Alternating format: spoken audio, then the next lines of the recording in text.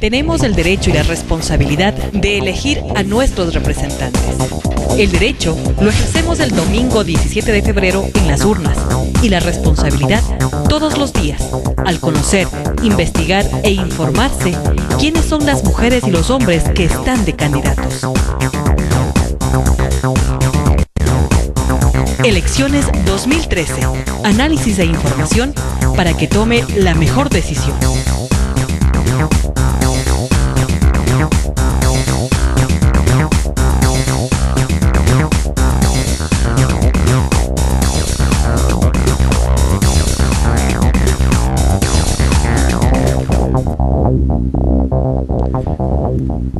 Amigos, amigas, buenos días. Hoy es miércoles 16 de enero de 2013. Empezamos otra emisión del programa Elecciones 2013 que TVMIC transmite en su señal 47 para conocer a los candidatos y a las candidatas asambleístas provinciales de Cotopaxi.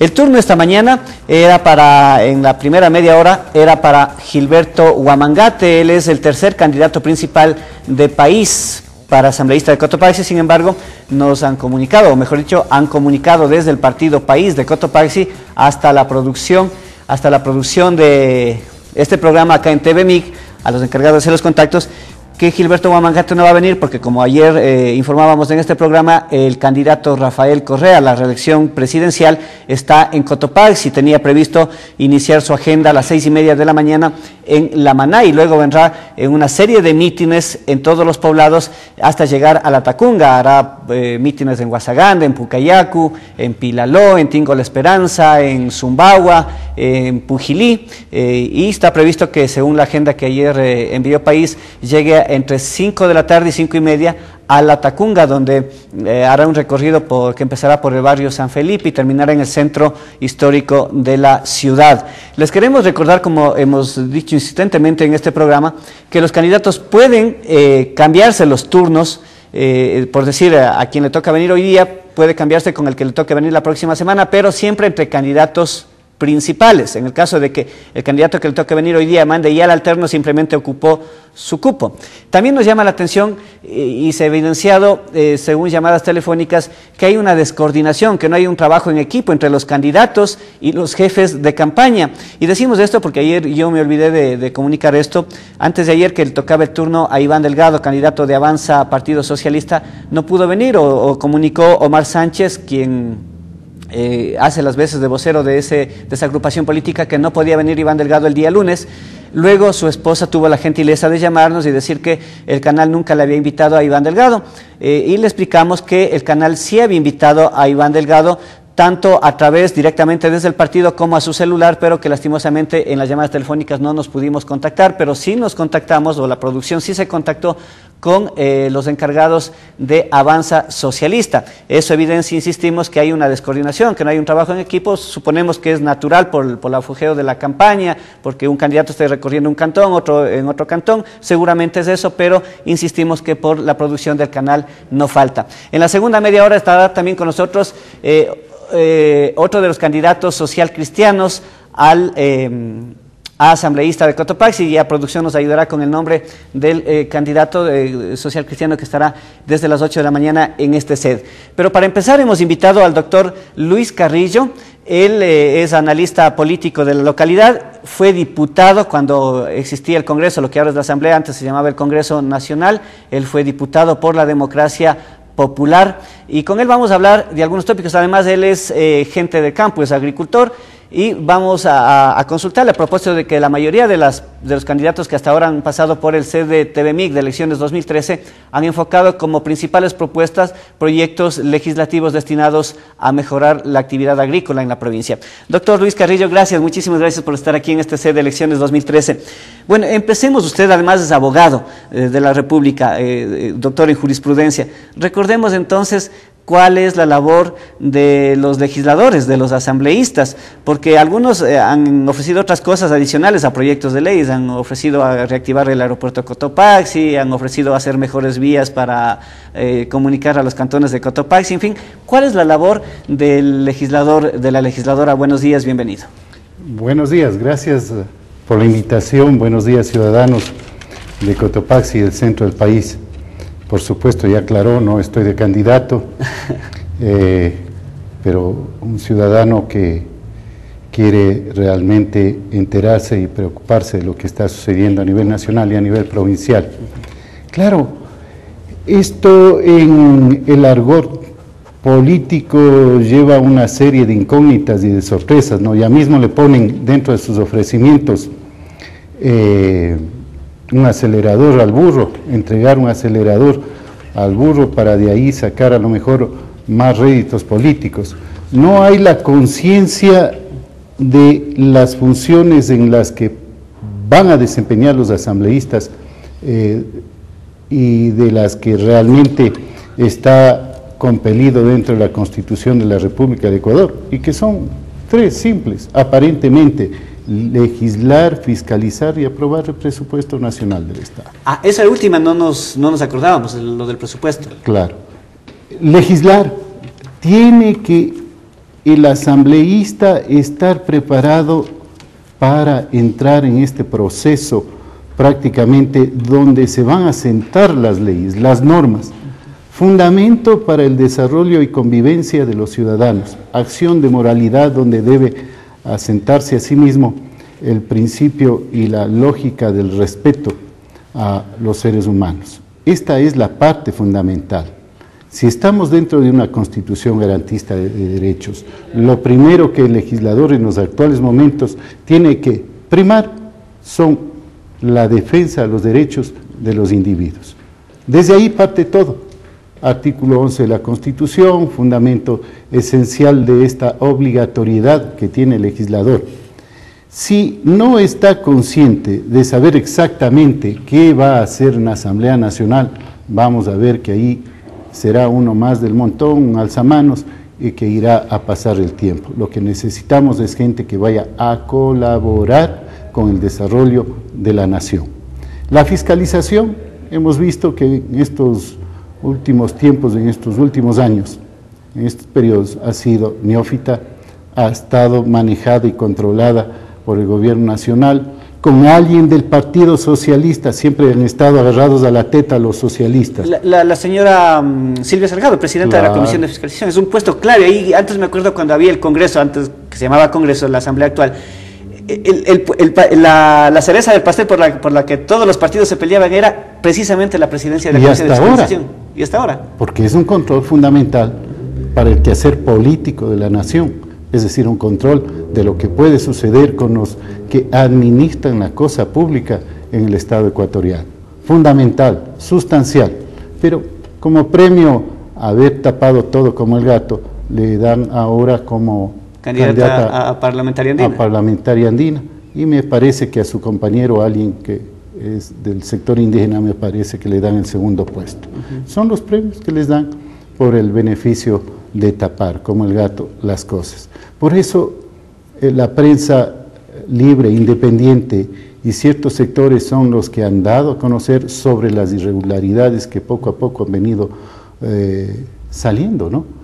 Eh, digamos que inclusive el mismo presidente de la República, conforme a sus dichos, ha sido engañado por determinados funcionarios de su régimen. El otro aspecto es el aprobar el presupuesto nacional del Estado, que por supuesto ya viene elaborado desde la presidencia de la República, desde el Ejecutivo, los otros a lo mejor afinen de una de otra manera y ha pasado el presupuesto general del Estado. Pero hay dos hechos sustanciales, fundamentales, la fiscalización y el legislar, el hacer normas, el hacer leyes que son actos primarios para el buen convivir del Estado ecuatoriano. En resumen, en lo último que usted decía, cuando el presupuesto ya va elaborado desde Carondelet a la Asamblea, lo que harían los asambleístas o la Asamblea no es aprobar, sino más bien legalizar, porque ya está... Sí, sí, así viene a ser, por eso le decía, algunas cosas lo van modificando, pero que no son sustanciales, porque ya viene ya elaborado desde el Ejecutivo. En, ese marco que usted acaba de explicar de las funciones de los legisladores o de los asambleístas, de las asambleístas, usted ya seguramente ha escuchado propuestas de los candidatos, no solamente en este programa, sino en otros canales de televisión, en, radios también, en los periódicos locales. ¿Usted ve que los candidatos se enmarquen dentro de esas propuestas o están eh, ofreciendo cosas que no es de ofrecer, es decir, que no es de su competencia? Oiga, hay ironías de la vida en la que se burlan de los seres humanos. Yo he visto al candidato de la lista número 7 a la presidencia, acompañado por candidatos para la legislatura, para la Asamblea Nacional, regalando cocinas, sillas de ruedas. Sillas de ruedas. Esa no es la función. Fue el sábado en la Tacunga, San Sebastián. Eso, eso es burlarse prácticamente del ser humano, de su conciencia, de su formación. Creo que tenemos que educarnos políticamente, ciudadanos, educarnos.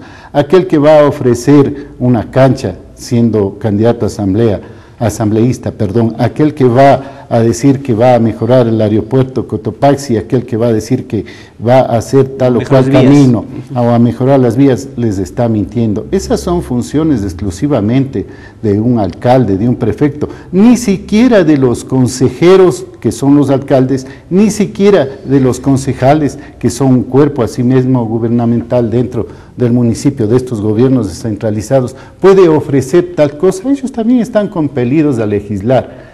Son determinadas autoridades las que inician la actividad de obras para que sea de igual manera un beneficio para determinados sectores. De igual manera hay que diferenciar entre lo que hace el gobierno provincial y el gobierno municipal. El gobierno provincial está obligado a realizar caminos, está obligado a realizar y a activar el asunto del agua de riego y no puede meterse a las actividades que lo hace el, municipio. Ahí estaríamos de una duplicidad de funciones y que por supuesto esta duplicidad de funciones son de todos los días. Lo hace el municipio, lo hace el Consejo Provincial, lo hace el Gobierno Nacional.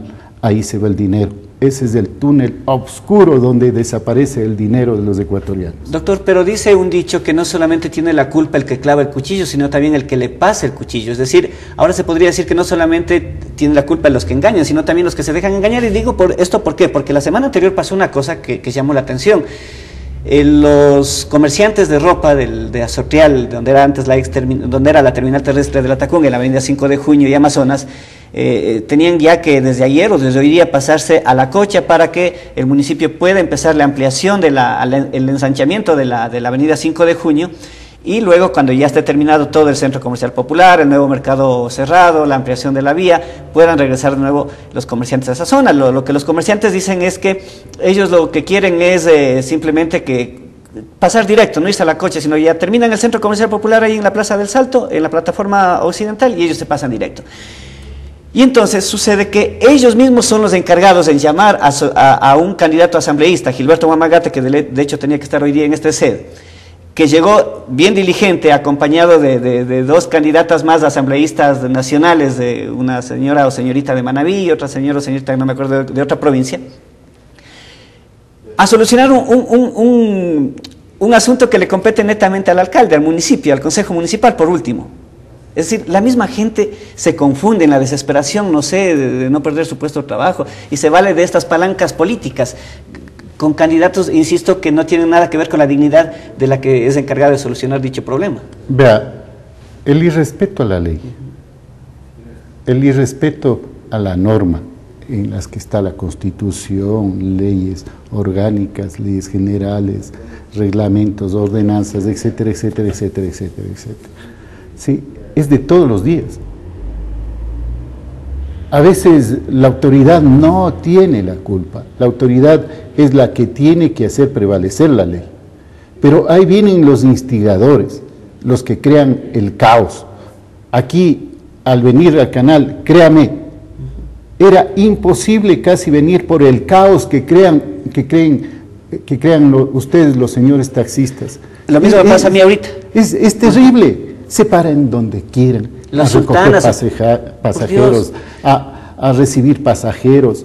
Sí, si alguien les dice algo, le devuelven con unos insultos terribles. O unos pitos tremendos de los buses. Es una ciudad que a veces digo, no tiene la culpa la autoridad, tiene la culpa esa irresponsabilidad del ciudadano, ese desvergonzado que todos los días bota la basura, que está chupando un para chupar un caramelo, coge, se mete a la boca el producto, pero el papel lo bota al suelo. El que todos los días está haciendo popó y pipí en las esquinas Aquí usted parece que cuando camina por las aceras de la ciudad de La Tacunga parece que está jugando a la rayuela, porque está evitando todos los días esta inmundicia. Es la irresponsabilidad de los ciudadanos que no hacen cargo de conciencia de sus actitudes. Y esa irresponsabilidad Se de actuar así se traduce a la cuestión política, al voto, al voto. El momento en que ellos van a votar lo hacen con pasión por, porque le han regalado alguna cosa, no por la convicción que le van a representar honestamente en la Asamblea Nacional, porque creen que el asambleísta va a dar cargos, va a hacer construcciones y realmente se va a volver en el papá, padrino y, además padrastro de algunas circunstancias que viven las provincias pequeñas. Ok.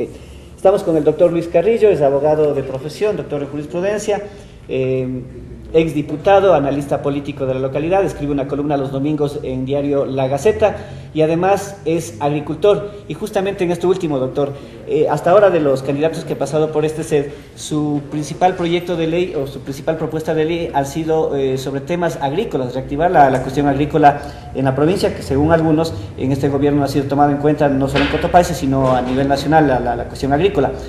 ¿Cree usted que debe ser esa área, es la área agrícola, la principal oferta de campaña de los legisladores? A ver, esta Asamblea Nacional nos queda debiendo un montón de leyes y leyes fundamentales que fueron abordadas en la constituyente de Montecristi para que sean elaboradas. La ley de tierras y la ley de aguas. Comencemos por ahí. La ley de aguas, que es una ley realmente sensible y que tiene que ver exclusivamente con la vida misma de los agricultores. Tierra sin agua no es tierra. Dos, el asunto del reparto de las tierras, que inclusive en los sectores, tanto en el sector indígena como en el sector productivo, están realmente fuera de contexto. Ellos no dimensionan exactamente lo que sucede las tierras en la sierra, las tierras en la costa y las tierras en la E Amazonía. incluso en Galápagos. Claro. Una hectárea, una hectárea en la sierra puede estar costando hasta unos 500 mil dólares. Que una hectárea en el páramo cuesta 500 dólares. ¿sí? Una hectárea en el oriente ecuatoriano cuesta 50 dólares y una hectárea en la costa puede llegar a costar unos mil, dos mil, tres mil dólares. Esta gran diferenciación es por el asunto de la productividad que produce algunos sectores de la sierra, que produce algunos sectores de la costa y que produce algunos sectores del oriente.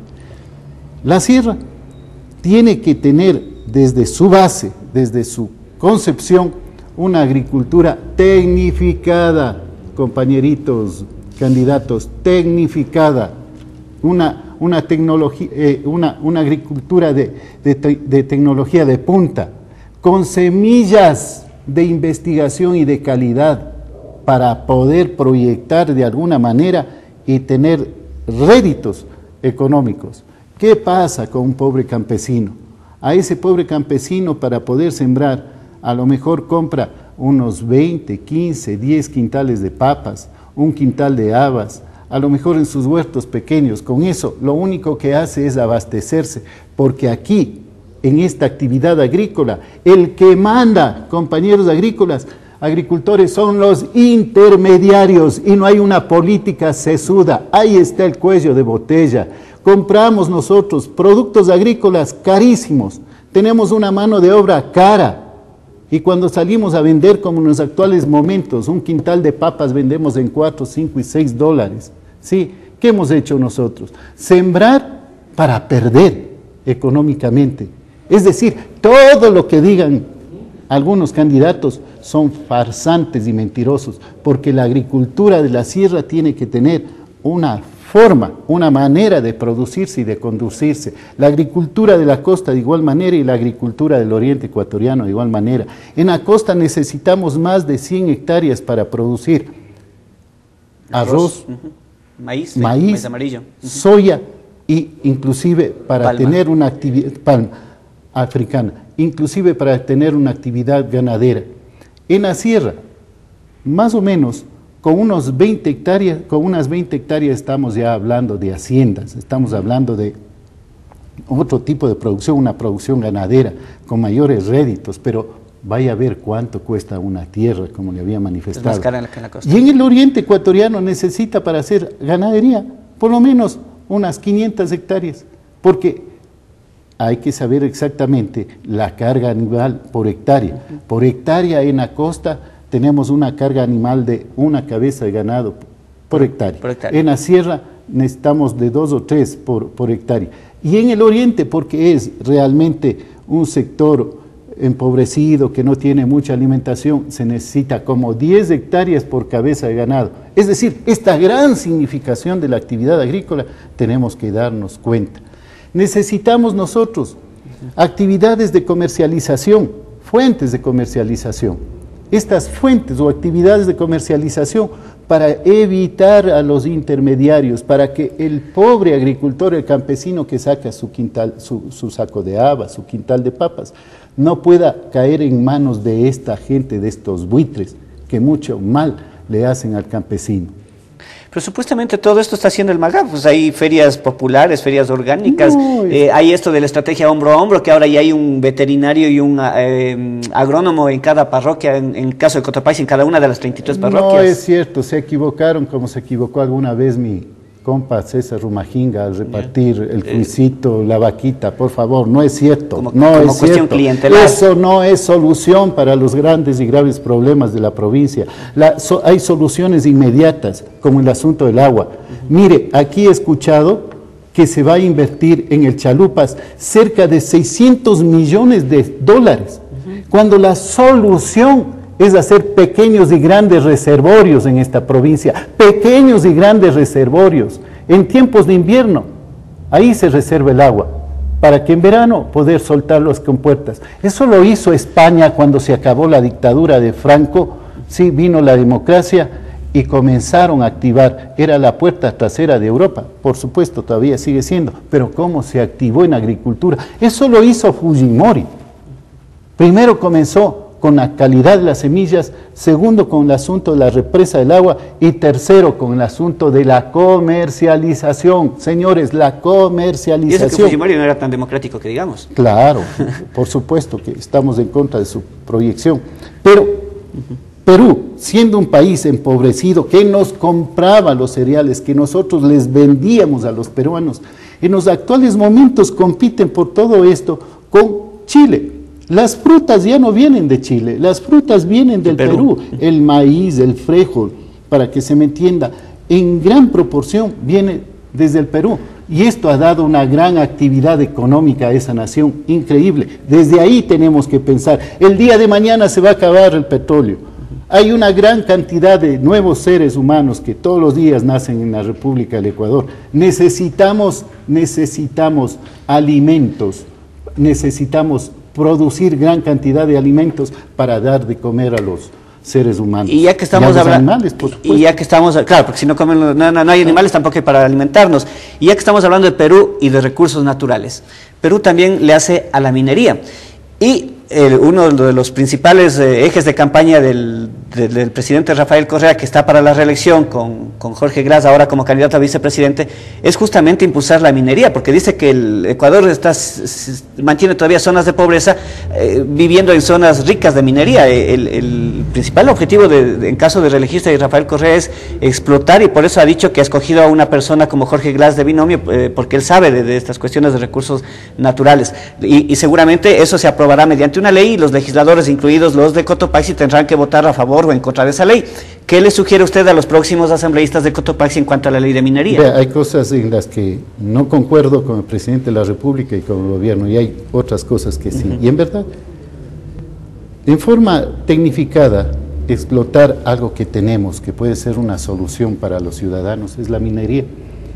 Y también escuchémosle al presidente. Tiene razón.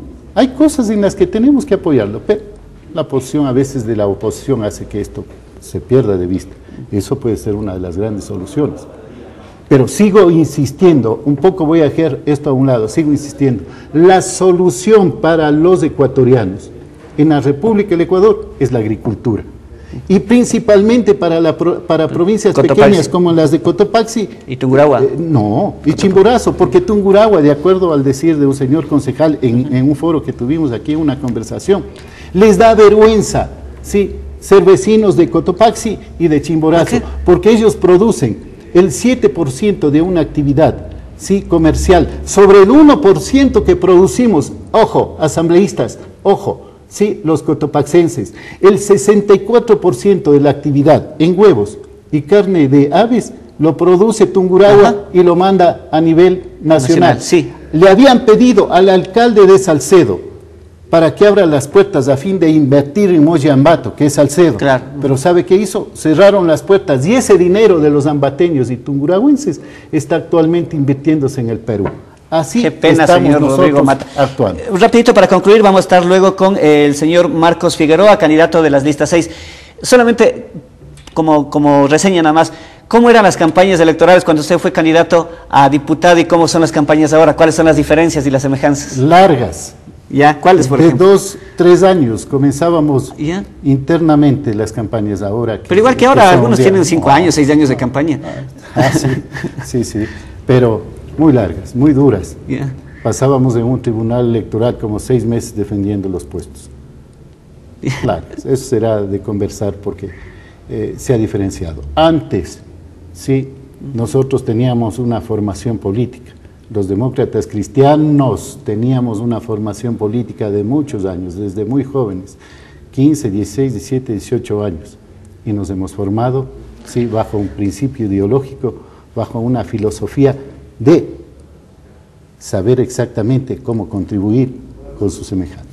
Doctor, le agradecemos muchísimo por haber hecho una pausa. El doctor Luis Carrillo, que acaba de estar con nosotros, él tiene que irse justamente a sus tareas agrícolas. Y le agradecemos también al señor Marcos Figueroa, porque le tocaba el turno a las siete y media a él y nos ha cedido gentilmente este espacio. Pero ya vamos a esta pausa y regresamos enseguida con Marcos Figueroa, candidato de las listas 6, Partido Social Cristiano, a, a asambleísta de Cotopaxi. Muchísimas gracias, doctor. Saludo a Marco Figueroa. Ok, muchísimas gracias. Regresamos enseguida en elecciones 2013.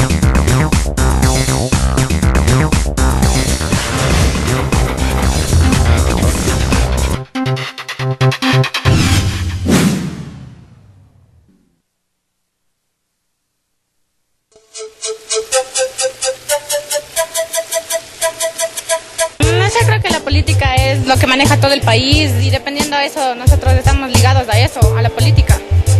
Es que supongamos el presidente da algo, digamos, ¿verdad? Entonces nosotros queramos o no queramos tenemos que acoplarnos a eso. Y si no, ya la ley nos cae, recae sobre nosotros. Pues para mí la política, yo creo que para mí es un debate en el cual se disputan mucha- muchas personas eh, y se dan a conocer muchas ideas las cuales pueden servir para, para un avance en, al desarrollo de nuestro país. Yo creo que se debe proponer nuevas cosas para los, para los jóvenes, a innovarles a el respeto o a algo. Pero no, no se hace nada en cuanto a los jóvenes. El alcohol, la drogadicción, la prostitución, esos son problemas graves de la falta de atención.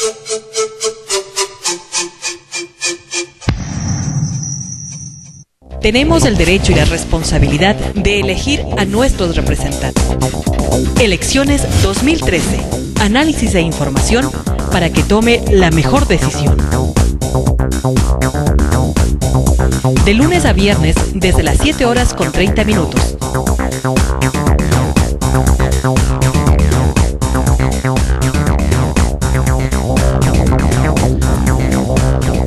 Son las 8 de la mañana con 5 minutos. Continuamos en elecciones 2013.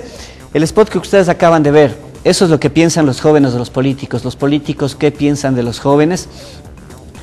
Y les invitamos para que eh, ustedes puedan eh, dirigirse a Cotopaxi Noticias o a TVMIC a través de sus cuentas de Twitter eh, de Facebook y de los correos electrónicos e incluso pueden enviar cartas. ¿Por qué no recuperar esta costumbre de escribir cartas, ¿no es cierto? De redactar cartas. Eh, tanto a los políticos como a ustedes, amigos y amigas televidentes. Los, los políticos, ¿qué más ofrecen? ¿Qué más, ¿Qué más piensan de la gente, ¿no es cierto? ¿Qué piensan de los jóvenes? ¿Qué piensan de los campesinos? ¿Qué piensan de los comerciantes? ¿Qué piensan de los profesionales? Y eh, a ustedes, por ejemplo, no sé, ¿qué les gustaría preguntar a los políticos, a los candidatos, a las candidatas? Eh, incluso, ¿qué podrían hacer ustedes o qué harían ustedes en caso de ser asambleístas? O sea, pónganse ustedes en los zapatos de los políticos, de los asambleístas, ¿qué harían ustedes, no es cierto? Y, no estamos inventando el agua tibia, estamos cogiendo una idea que esta semana lanzó eh, el diario, el Grupo El Comercio, mejor dicho, en sus dos periódicos principales, Diario El Comercio y Últimas Noticias. Ellos están haciendo, eh, pidiendo que los jóvenes envíen un video grabado diciendo qué haría si fueran presidentes. Si yo fuera presidente, se llama esta invitación. Y, lo, lo bueno hay que reproducirlo también, hay que replicarlo, insistimos, citamos, reconocemos de crédito al Grupo del Comercio, pero nos parece interesante este ejercicio participativo, democrático, Así que luego ya coordinaremos con producción para poner en caracteres las cuentas de Twitter, las cuentas de Facebook, tanto del canal como del periódico cotopaxinoticias.com y ustedes podrán participar directamente. Estamos ahora con Marcos Figueroa Carrillo, es eh, candidato a, asambleísta de Cotopaxi por la lista 6, por el Partido Social Cristiano. Eh, señor Figueroa, muchísimas gracias de nuevo por haber permitido que el, espacio que le tocaba a usted lo tengamos con el analista Luis Carrillo y usted usted haya aceptado estar desde las 8 de la mañana. Muchísimas gracias. Cuéntenos quién es Marcos Figueroa Carrillo. De paso, ¿qué es para Lucho Carrillo que acaba de estar en este set? Muy buenos días a, usted, a TV MIG, Canal 47, por esta invitación. Bueno, el doctor Luis Carrillo es un amigo de, muchos años. Pero nada de pariente por Carrillo. No, no, más bien eh, él es por amistad desde, que le digo, 25 años atrás más o menos, desde que yo estoy acá en Salcedo. Ahora sí, cuéntenos quién es Marcos Figueroa Carrillo. Bueno, yo soy eh, un microcomerciante de la ciudad de, Salcedo. Yo soy nacido en la ciudad de Pillar. Vecino de Salcedo, prácticamente, son dos cantones vecinos. Dos, hermanos. Así es. Dos hermanos eh, cantones nacido allá, pero como decía, 25 años que ya me radico aquí en... Juró la bandera, como suelen decir. Ya, definitivamente, ya, está, ya, soy, ya soy salcedense y con mucho orgullo. ¿no? Salcedo es una, un cantón muy próspero y donde quedan muchas oportunidades para vivir. Okay. ¿A qué más se dedica? Eh, también le hacemos eh, a la agricultura, a la ganadería, bueno, más que todo eh, eh microempresario más que todo. ¿Y, qué le parece lo que acaba de contar el doctor Carrillo, que eh, los eh, inversionistas tungurahuenses que se dedican a la agricultura, especialmente a la avicultura, que, crean aves, que producen, que, se dedican a producir huevos, eh, quisieron invertir en Salcedo y al alcalde le cerró las puertas y ahora se fueron a invertir en, Perú? Bueno, digamos que esto incluso está pasando no solo en Salcedo, en todo el país mismo. Hay muchas empresas que, que se, se, han ido al Perú, Colombia, por la inseguridad eh, jurídica que tiene el país mismo. ¿no? Por eso es que no hay inversión en el, en el país, de, inversión en la parte de, de empresas nacionales y mucho menos extranjeras. Por esa, esa inseguridad que tiene el país y altos costos, eh, no hay, no hay beneficios ¿Qué le digo? Yo sé que en el Perú una empresa que recién se constituye tiene ventajas. Tiene dos, tres años, cuatro o cinco años de que no les cobran impuestos, pero está dando, les dan eh, eh, esas facilidades por la cantidad en cambio de mano de obra que utilizan. Eso es lo importante. ¿no? ¿Cuál es la actividad microempresarial a la que usted se dedica en Salcedo? Bueno, yo soy tengo un almacén de electrodomésticos y también una distribuidora de, gas doméstico. Ya. esa es la... ¿Y la distribuidora está en el centro o fuera del área poblada? En el centro. Pero la ley prohíbe tener las distribuidoras de gas en el centro, las bodegas. No prohíbe. ¿No prohíbe? No prohíbe. O sea, no, no hay una, una ley que diga eh, una bodega puede estar fuera. No hay. Pero usted tiene las seguridades para que no ah, haya ninguna desgracia ahí. Bueno, lo que pasa es que la ARCH, antes, antes la DNH, lo que era la Dirección de Nacional de Hidrocarburos, ahora es la Agencia, ¿cómo se llama? Agencia Nacional de Regulaciones de Hidrocarburíferas. Ellos nos controlan muchas veces hasta mensualmente, trimestralmente, están, nos están controlando. O sea, no es que nosotros tenemos una distribuidora o una bodega a la buena de Dios. O sea, no es así. Los controles son muy minuciosos, muy minuciosos eh, de parte de la, de la ARS misma. Y nosotros mismos, por, por nuestra seguridad, tenemos que tener eh, las, eh, las debidas condiciones de, las bodegas. ¿no? O sea, ¿Y, a, y a cómo vende usted el gas en las bodegas? el precio oficial Un dólar sesenta. Dólar 60, son, estamos hablando... ¿Usted está es- vendiendo el precio es- oficial? Claro. Son, on- son 11 años que el, el precio oficial no, no, No ha variado. No ha variado. Pero la mayoría de distribuidores eh, venden a dos dólares, dos dólares y medio, un dólar ochenta. Bueno, es lo que pasa que el, el, el gas es un tema muy, muy, muy fuerte en este sentido. Pero hay una ley que dice que no se debe cobrar más de un dólar sesenta. Usted respeta En, ese precio. en- en bodega. Ya, en bodega. Pero, pero por las condiciones que y en tiene- servicio a domicilio es otra cosa. El servicio a domicilio Claro. es otra cosa. E- Eso cae ya en, en un, en un contrato, si cabe el término verbal, ¿no? Usted me dice, vea, yo tengo la distribuidora aquí. y Claro, me y, dice, y "Ve- ahí incluso las autoridades han reconocido que ahí no se trata más bien el que el precio extra que se cobra no es por el gas, sino es por el transporte. Por O sea, el transporte, eh, eh, ya, eso estamos claros. En- Eh, pero en- pero usted sí vende en la bodega, es decir, o sea, no, no necesariamente me obliga a mí a recibir el gas en mi casa, sino que si yo voy eh, pagando carrera, en bicicleta, en carretilla, a comprar en su bodega, sí me vende el gas. Claro. Porque Sí, hay otros, sí. en cambio, que no lo venden y dicen, no, y ese yo lo estoy vendiendo en la, en la, en la casa, entonces, claro, le obligan a comprar a, a dos dólares, a dos dólares veinticinco, a dos dólares cincuenta. Así ¿no? es, o sea, lo, lo que pasa es que los altos costos, o sea, todo ha subido, ¿no? Pero dése cuenta de, de, de 11 años acá, que no se haya movido el, el, el, eh, El precio del gas. el precio del gas. El margen, la margen, el margen de utilidad prácticamente cero. O sea, 1.60 en el gas se pierde. O sea, es pérdida. O sea, ¿por qué? Porque nosotros tenemos un precio, al menos en, en, en, eh, en Enigas, tenemos un precio de bodega de 1.50. Ok, ya vamos a hablar más luego del gas de nuevo. Eh, en cuanto a estudios, cuéntenos en qué escuelita estudió, en qué colegio, no sé si universidad. A ver, yo en Píllaro comencé en la escuela María Urbina, José María Urbina, sexto grado, luego al Colegio Nacional Jorge Álvarez, donde También de Píllaro. También de Píllaro, el, el patrón de Jorge Álvarez de, de, de Píllaro. Ya. Luego a Quito, a la universidad, donde estudié dos años, por cuestiones ya más, eh, más de enamoramiento que tú has dado. Más pudo el amor, como Más se dice en las telenovelas, ¿no? Hasta cuando...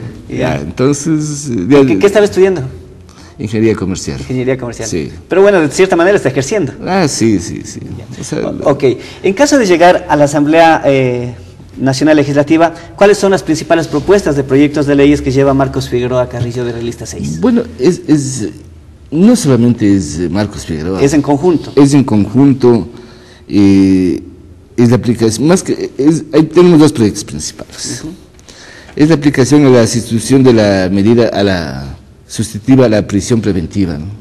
O El tema de seguridad el tema ciudadana. de seguridad ciudadana, violadores, secuestradores, eh, eh, lo importante es que no salgan libres, ¿no?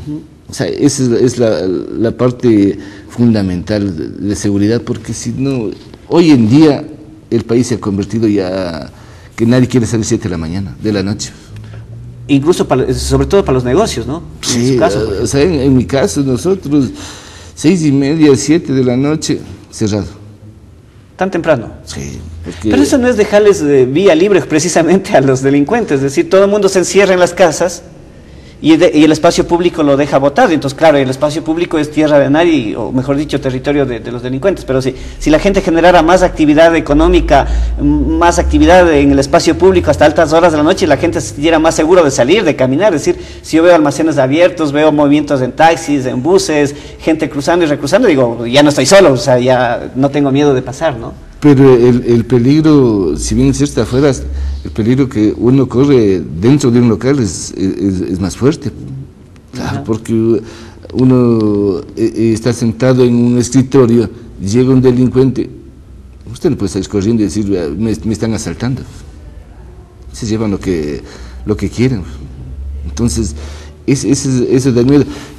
Si usted se da una, en, en- en la parte de la costa, las tiendas tienen puesto, parecen, Parecen cárceles. Parecen cárceles. Tienen rejas. Entonces, e- es- esa inseguridad, todo el mundo tiembla ahí en la noche. O sea, ya no es como antes. Pues. Por ejemplo, usted, ¿cuánto de, de- de su presupuesto, de su capital destina, qué porcentaje de su, de su capital destina a, a- a seguridad de su local? Es decir, yo que sé, verjas, alarmas, guardias, no sé, que podría destinarlo a aumentar su mercadería. Estamos hablando de un 5%. Ya. Un, un 5% que está exclusivamente para eso. Entonces, esas son pérdidas para, el, eh, para todos los microcomerciantes. Y por ejemplo, en Y Salcedo, que es una zona, un cantón, uno de los más comerciales de, de- de Cotopaxi, más que en la Tacunga incluso, eh, ¿cómo está esto de la inseguridad ciudadana? ¿Hay asaltos que son comunes? No sé.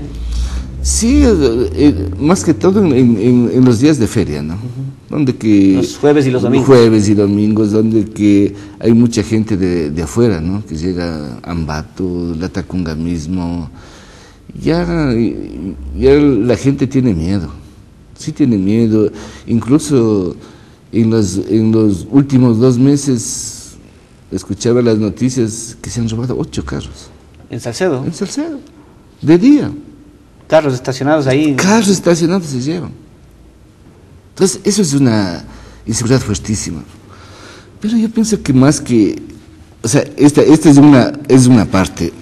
Ya, eh, del- lo que proponen en Lo es reformar para que las medidas sustitutivas de lo que nos explicaba el doctor Francisco Cañizares la vez que estuvo aquí, que también es su, su, su compañero de, de- de- de candidato, de candidatura. Él explicaba lo que es- se trata es de que las medidas sustitutivas se, se apliquen a, a personas que no tienen antecedentes, a personas que están por delitos menores, pero en el caso de delincuentes peligrosos simplemente se les dé la prisión preventiva y ninguna otra alternativa. No hay otra alternativa. Entonces ustedes van a proponer una reforma al proyecto de eh, al Código Penal. ¿es? el Código al Penal, claro, el. Código Penal. Ok. También estamos, y la, la- el otro proyecto es la hacer la reforma en, en la, en la parte de la educación. Mujeres embarazadas de 12 a 13 años. Qué pena que da. Pena da porque incluso embarazadas y, y no hay una, verdadera educación en, en los colegios. Donde que, donde que ahí si bien es cierto la educación sale del, de la, de la casa por principios y, y de la misma familia, pero también hoy en día que el, el- el internet ha hecho ha hecho maravillas muy buenas y, y también de las otras Es un arma de doble filo. Ah, es un arma de doble filo definitivamente donde que los chicos donde no están preparados no están preparados y le cogen a, a veces eh, de la parte negativa lo que es. Entonces, ¿qué ley habría que reformar para combatir esto de los embarazos adolescentes? que se tenga una una una una asignatura en los colegios ¿Ya? que se dé educación sexual ¿Ustedes propondrían una ley entonces o una reforma a la Una ley reforma, actual de educación? claro, para que se tenga una asignatura a la, a la- Ya. a que la- la educación eh, sexual sea obligatoria. Obligatoria. ¿Desde la escuela o desde el colegio? desde el colegio bueno Ya. desde la escuela ya todos sexualmente estamos desde que desde que somos concebidos no ¿Qué otro Vea, por, por- por decirle, no sé, en, en este gobierno se dio que se utilicen los preservativos. No estamos preparados para eso. La Pero peor sin preservativos. o sea, o sea, o sea, vayamos por la, por la educación primero. Y de ahí, o sea, los chicos le cogen del otro lado, no de- le cogen de la, ¿De qué lado le cogen? de la parte... Ya de- como que se les está motivando a... a- Claro, se está motivando justamente. Se le está motivando. Es, una cosa es eh, la diversión, que muchos le hacen eso. Pero, pero si lo utilizamos por principio, es mucho mejor, pues, por cuidarnos. Pero ahora dice, por ahí se olvidaron, el- ah, no, como ya, ya, ya le utilizaron, en este caso, al sexo de, de, de, de, un mal lado. Entonces ahí vienen los problemas de las, mujer- de las muchachas embarazadas. ¿Y quién responde por eso? Con muchachos de igual de 12, 13, 14, 15 años. Entonces, el cambio o el aumento de, una asignatura hará que, que los, lo- los, eh, los chicos entren en, un verdadero conocimiento de- del, del sexo. Ok, son las 8 y 20 minutos. Estamos con el señor Marcos Figueroa Carrillo. Él es candidato asambleísta de Cotopaxi por las listas 6 por el Partido Social Cristiano. Ustedes pueden plantearle eh, cualquier inquietud llamando al número telefónico que aparece en caracteres en la pantalla de su televisor. Solamente tienen que identificar su nombre, el lugar desde donde nos llaman y realizar su inquietud al, al señor Marcos Figueroa Carrillo llamando al número de teléfono que aparece en caracteres en la pantalla de su televisor. ¿Qué otros proyectos de ley lleva usted a la Asamblea o el grupo de candidatos social cristianos de Cotopaxi a la Asamblea Legislativa? Bueno, tenemos seguridad, empleo. ¿Qué hacer en empleo? Pero justamente tenemos que ir a, a legislar al- en, en- en la asamblea para que se cambien las reglas de juego, Ya. ¿Para cambiar qué? Que se aumente, eh, que se aumente empresas acá. ¿Cómo hacer eso desde, el Congreso, desde la Asamblea, desde el- mediante leyes? Pero tenemos que, que inducir al, al- al gobierno, que decirles que, que- que el gobierno, hoy, hoy se ha peleado con todo el mundo, el gobierno. El presidente se ha peleado con, con Estados Unidos cuando ellos han sido los que nos han, eh, toda la vida eh, hemos, es, es el, eh, es el mercado más grande que hay. Nos peleamos con ellos, eh, nos peleamos con, con eh, qué cantidad de impuestos a, a las empresas. Entonces, la inseguridad jurídica que, tiene, que tenemos. Entonces, ¿quién va a invertir acá? Si no hay inversión, si no hay empresas, ¿de qué empleo hablamos? ¿Usted estaría de acuerdo con que Ecuador firme tratados de libre comercio tanto con Europa como con Estados Unidos? Yo creo que sí. Ya. Sí, o sea, le- mientras más mientras más puertas donde que haya, va a ser mejor para el, para el país, ¿no? Pero libres comercios eh, eh, que sean igualitarios, ¿no? No, no imposiciones. Hablábamos de antes del gas, porque usted se dedica a distribuir gas en, en- en Salcedo como una de sus dos actividades. Y una de las cosas que los analistas resaltan es que parte del desorden económico que aún existe en este gobierno, es decir, ha avanzado muchísimo, pero todavía hay, algún cierto, o hay cierto desorden, es esto de los subsidios. Hay demasiado gasto público a veces, y no solamente es por las carreteras que hace, sino también por los subsidios. ¿Usted estaría de acuerdo con que se elimine el subsidio al gas o que se lo focalice? que se focalice. El subsidio vea, eh, en- en- está como que mal encaminado los subsidios. Vea, tiene- como agricultores, un subsidio, el subsidio debe ser más al agro. Ese subsidio que se da a los combustibles y el gas incluido, ¿por qué no se, le, se traslada ese subsidio a los agricultores? Tenemos, eh, tenemos fertilizantes de, de 35, 38, 40, 50 dólares. ¿Qué, qué agricultor soporta esto? No soporta nadie. Con fertil- fertilizantes agroquímicos altísimos y en todos los países siempre es el subsidio al agro primero, porque de ahí sale todo para comer. pues. Usted se dedica a la agricultura también, Sí, también. fuera de micrófonos. Sí, entonces eso es, eso es muy fuerte, esa, esa carga al- al- en la agricultura es muy fuerte. Cuando esos subsidios mal llevados, para mí mal llevados, el subsidio al gas porque no se focaliza. ¿A qué, a, qué, cla- ¿A qué grupos poblacionales se debería mantener el subsidio y a cuáles se les debería quitar en cuanto al gas, en cuanto a los combustibles? La ley está, está ahí la ley, pero ahí es una ley ambigua. La ley de hidrocarburos. Hidrocarburos, ¿ya? sí. Ahí contempla ya lo de los subsidios. Contempla quiénes deben utilizar el, el, eh, el gas doméstico ¿Y y, el gas, industrial? gas industrial. ¿Y por qué dice que es ambigua esta ley? Porque no hay un, un marco definido. ¿Ya? Dice, se, se utilizarán los, eh, los industriales, pero, o, o los, eh, los comedores eh, Que no sean populares. que no sean populares, pero ¿cuáles son populares? ¿Y qui- cuáles son, quiénes son y quiénes no son populares? O sea, hay una ley, pero no hay un reglamento. No hay un, no hay un reglamento que diga, usted sí, usted no. Se ha hecho muchas, muchos estudios, se ha hecho muchos proyectos, pero no dan resultados nadie. Se hizo un, un- un plan piloto en, en Tulcán, porque ahí es lo- la parte álgida en Tulcán y, y en Huaquillas, que se comenzó con las tarjetas inteligentes.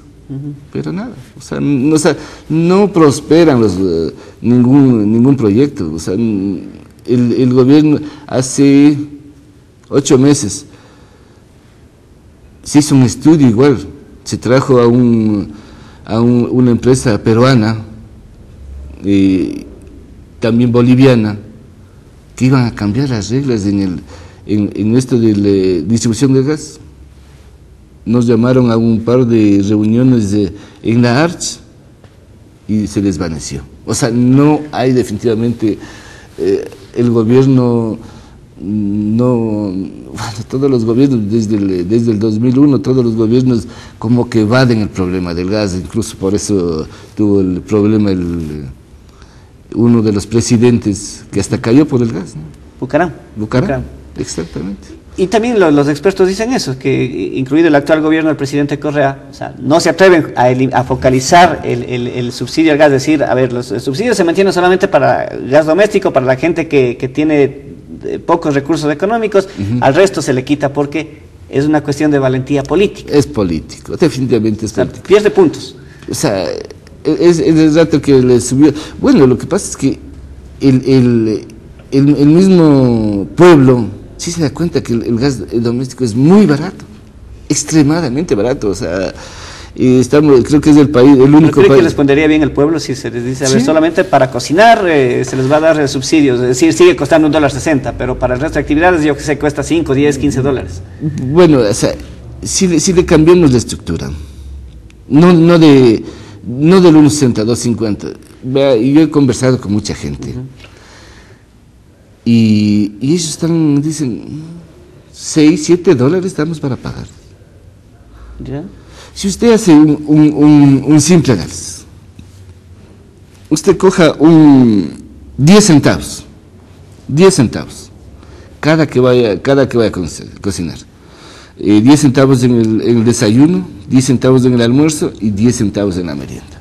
Usted tiene su familia es de 3 o 4.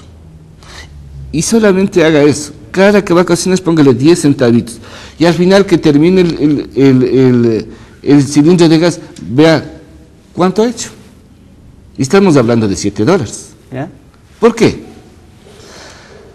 Si usted compra un cilindro en 2.50, porque eso le dejan en, eh, a domicilio, o sea, eso ya es un, ese es el costo, 2.50. A usted le alcanza, ese cilindro le alcanza 30 días. Eso lo, es una media, 30 días. Que no alcance los 30, que le alcance los 25 días para ser más, eh, más rápidos. 25 días. De 2.50 son 10 centavos diarios. Si usted le divide por las tres comidas, son 3 centavos. 3.3. Eso es lo que cuesta el gas, a 2.50. Si usted le, se multiplica por, uh, por 3, de 2.50 estamos hablando en 7.50. Ok. El tema del gas es uno de los temas pendientes que está en la actual Asamblea Legislativa, aunque Sí. parezca que, que nos hemos ido fuera del tema, no lo es. Cierto es. Justamente, los asambleístas tienen una responsabilidad enorme. Decíamos cuando empezó esta serie de programas que los asambleístas nos representan, unos mal, otros bien, pero a la larga nos representan. Y ellos se dedican a aprobar las leyes que aparentemente son palabras abstractas, pero que a la larga afectan en nuestra cotidianidad. Y de esto del gas es una de ellas. Pero antes tenemos una llamada telefónica. Buenos días, ¿con quién tenemos el gusto? ¿Desde qué lugar nos llama? Bienvenido, bienvenida. Sí, buenos días. Estoy escuchando el, por- el reportaje desde Pujilí. Muchas gracias. ¿Cuál es su nombre? Margarita Bustos. Señora Margarita Bustos. Eh, yo lo que le quería decir al señor es que el señor que está hablando dice que el tanque de gas para, el, para la vista de él 7 dólares podría costar. Está muy bien 7 dólares, que él dice. Pero la gente del campo, que somos del campo, ni a veces ni los 2 dólares 50 que vale el tanque de gas que vienen a dejar en la casa, se tiene para pagar. Y mucho menos que el señor dice que de los, de los depósitos sale el gas a dólar 60. No sale el gas a dólar 60 venden a dos dólares y encima uno tiene que bajarse a poner el tanque, alzar el tanque. Y yo le, yo, sé, yo le veo algo imposible que el señor dice a siete dólares. Porque es duro para la gente pobre, tal vez porque tendrá un sueldo fijo, se le haga fácil. Pero uno como madre de familia y poner los 10 centavos al lado de la olla aquí no cocina, a veces no tiene ni qué poner en la olla para estar sacando los 10 centavos. Esa es mi, mi- mi manera de pensar. Le agradecemos muchísimo a Margarita Bustos desde el cantón Pujilí. Aparte de que les eh, cobran más caro por llevarles a domicilio, ni siquiera les ayudan a instalar el gas, el cilindro. Bueno, eso ya es eh, cuestión de cada, De cada distribuidor. cada distribuidor. O sea, eso ya es... si el distribuidor no está preparado para hacer un buen servicio, o sea, eso ya, ya corre, ya no es cuenta de, de, de cada nosotros. O sea, la ley es, es otra cosa, ¿no? Así es. Entonces les decíamos, amigos, amigas, que eh, aparentemente puede sonar como que nos hemos desviado del tema, como que son temas que no les compete a los asambleístas, sí les compete.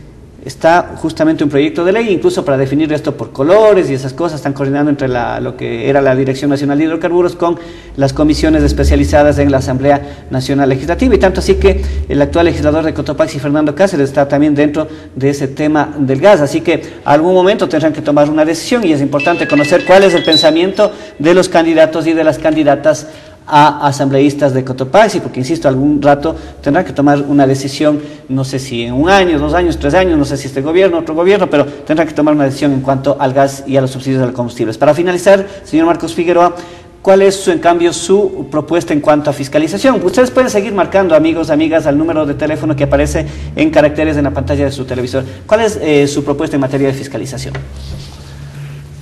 Bueno, los legisladores eh, justamente vamos a, a eso, a legislar y fiscalizar. Pero lastimosamente como que el gobierno ya tiene, ya a la asamblea le tiene atado, ¿no? No hay fiscalización, o sea, no pasan, eh, no, se hace mayoría del gobierno y la fiscalización no pasa. O sea, como que va a ser mm, eh, muy complicado la, la situación de fiscalización, pero van, eh, se va a luchar, ¿no? O sea, no, no se va a quedar eh, con los brazos cruzados y se, y se peleará por eso, por, por lo que el, el- el legislador va, a lo que va, a justamente a, a- a fiscalizar. Bueno, Claro, y dependerá si está en mayoría o en minoría. eh, Justamente, o sea, ya, ya se verá después de las elecciones, ¿no? No puedo decir, vea, mañana yo no voy a ser un, un candidato que digo mañana, yo llego a la asamblea y lo primero que voy a hacer a, a fiscalizar. O sea, de- depende de muchos factores, como para uno demagógicamente yo decirle ahorita, vea, yo llego a la asamblea y, y- y- eh, me, me pongo mañana a fiscalizar. No es así. O sea, si, eh, si los otros candidatos dicen, vea, mañana, qué pena. Y tampoco voy a presentar proyectos porque ahora tiene que pasar por el CAL, ¿no? Por el sea, Consejo de Administración hay- de la Legislatura. Justamente, o sea, todas esas cosas, hay muchos, eh, se, se ve que muchos, eh, muchos candidatos que, que están incluso, vea, yo le voy a dar una cancha, le voy a dar esto, voy a dar, o sea, o sea, Están o sea, fuera de- de está- foco. Están fuera, o sea, nosotros lo que vamos es a tratar de fiscalizar y legislar esto, sí, pues. ¿Ok? Le agradecemos muchísimo a Marcos Figueroa Carrillo, candidato de las listas 6 del Partido Social Cristiano Asambleísta de Cotopaxi. ¿Usted está en tercero o en, en qué Tercero principal. ¿Y, y cuál es su alterno, perdón, o su alterna?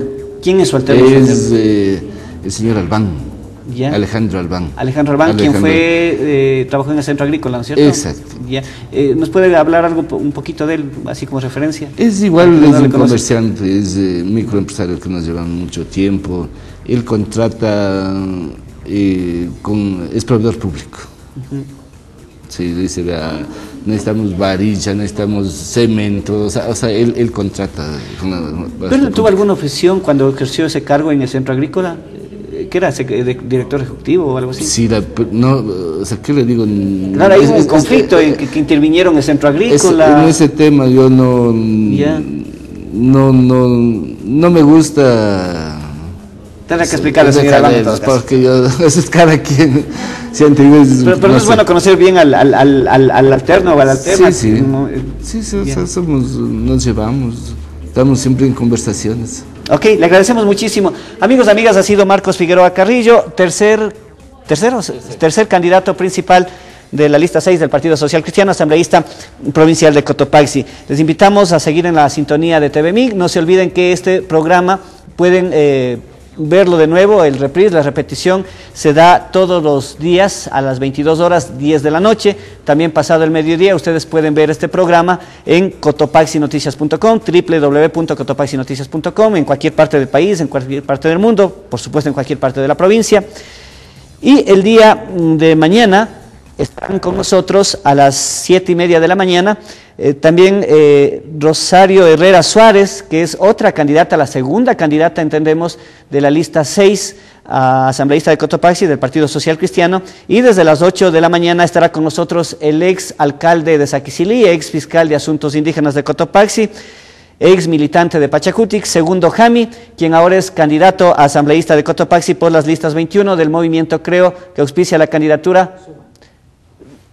Eh, suma, sí, está aquí mal, es Suma, perdón, eh, de la lista 21, Suma, que auspicia la candidatura de Mauricio Rodas a la candidatura presidencial. Les recordamos que hoy eh, está en Cotopaxi el candidato presidencial Rafael Correa. Él tenía previsto iniciar un recorrido por La Maná a las seis y media de la mañana, luego venía en mítines por Pilaló, por, otras, por parroquias de por Guasaganda, Pucayacu, Parroquias de la Maná, por Pilaló, por Tingo La Esperanza, Zumbagua, Pujilí. Está previsto que alrededor de las 5 de la tarde, 5 y media de la tarde, llegue a La Tacunga, donde empezará un recorrido por el barrio San Felipe, en el sector de la estación, en el sector occidental, hasta llegar al centro histórico de la urbe, mientras que el día domingo estará en La Tacunga el candidato presidencial de la Coordinadora Plurinacional de las Izquierdas, eh, Alberto Acosta. Alberto Acosta está auspiciado por el MPD, por Pachacutic, por el movimiento de Gustavo Larrea, por el movimiento de Paul Carrasco, por Alfa, eh, ¿cómo es? Montecriste Vive, entre otros movimientos de esta coordinadora plurinacional de la izquierda. Alberto Acosta estará entonces el día domingo en la ciudad de Atacunga. Si tenemos datos de otros candidatos, con gusto los daremos conocer. Si no los damos a veces es porque simplemente no tenemos y les ponemos a las órdenes eh, este espacio para que nos hagan llegar por lo menos las agendas escritas para darles a conocer en este espacio. Nada más, soy Luis Muñoz, un buen día, nos vemos mañana.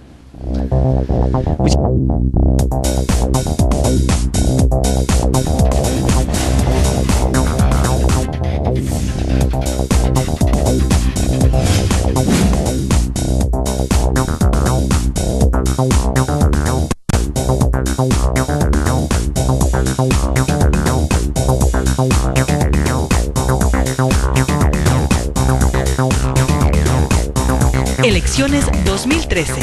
Análisis e información para que tome la mejor decisión.